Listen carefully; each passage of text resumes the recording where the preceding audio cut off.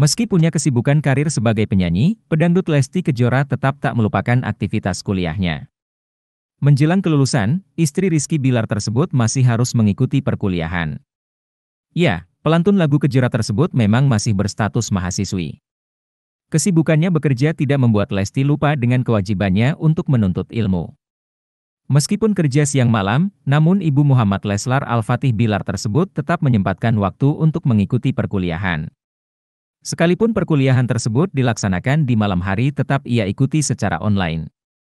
Hal tersebut diungkap oleh Andriana Francisca Mary yang merekam aktivitas Lesti ketika kuliah daring. Video tersebut diunggah melalui Instagram Stories kemudian direpost oleh sang pedangdut.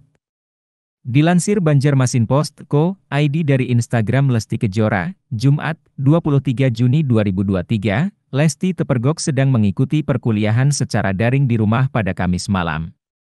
Saat itu, Lesti mengenakan jas alma mater berwarna merah.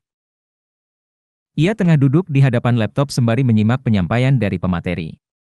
Aktivitas Lesti tersebut dipuji oleh Mary, ia mengagumi ketekunan sang pedangdut.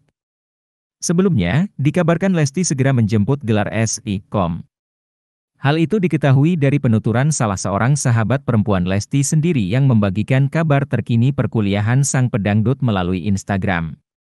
Dari penelusuran Banjarmasin Post Co. ID dalam Instagram pribadi pelantun lagu Kejora tersebut, Lesti Kejora, Sabtu, 17 Mei 2023, Lesti sedikit lagi mendapatkan gelar S. IKOM dari kampusnya.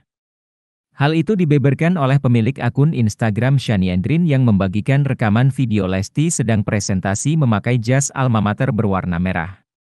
Pemilik akun tersebut juga meminta agar Lesti tidak menunda-nunda kelulusannya lagi. Lesti mengenyam pendidikan jenjang SD hingga SMP di sekolah negeri di kampung halamannya yakni di SD Negeri Cikangkareng dan SMP Negeri 1 Cibinong. Ketika SMA Lesti melanjutkan pendidikan di daerah Tangerang tepatnya di SMA Ki Hajar Dewantoro karena dirinya mulai mengembangkan karirnya di ibu kota pasca lulus dari kompetisi di akademi. Selanjutnya pada tahun 2018, Lesti mengenyam pendidikan perguruan tinggi jenjang S1 di Universitas Mercu Buana program studi ilmu komunikasi.